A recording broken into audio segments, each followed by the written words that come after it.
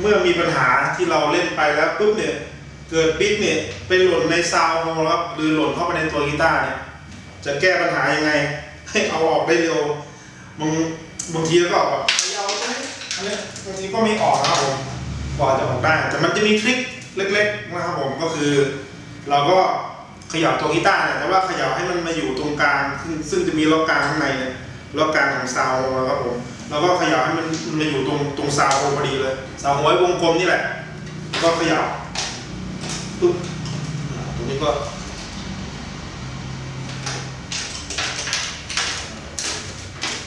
เดี๋ยวสัก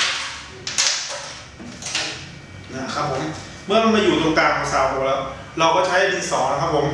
ดินสอหรือปากกาอะไรก็ได้ดินสอนี้ก็ได้ดินสอถ้าเกิดมียางลบก็จะดี เพราะมันจะติดตัวปิ๊กนะครับผม แล้วก็เขี่ยปิ๊กมา ให้มันอยู่ตรงกลางซาวพอดีปั๊บพออยู่กลางแล้ว เราก็เอาตัวนี้แหละ กดปิ๊กไว้ปุ๊บปิ๊กไว้เลย แล้วก็คว่ำกีตาร์กวาดปั๊บมาติ๊กก็จะหล่นมาพอดีเนี่ยครับผม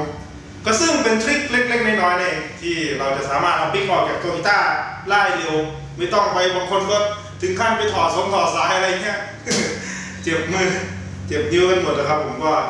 ใช้ดินสอนครับ กดเนี่ยที่ก้นดินสอเนี่ยก้นยางลบนี่กดแล้วก็สนุกกันต่อได้ครับผมจา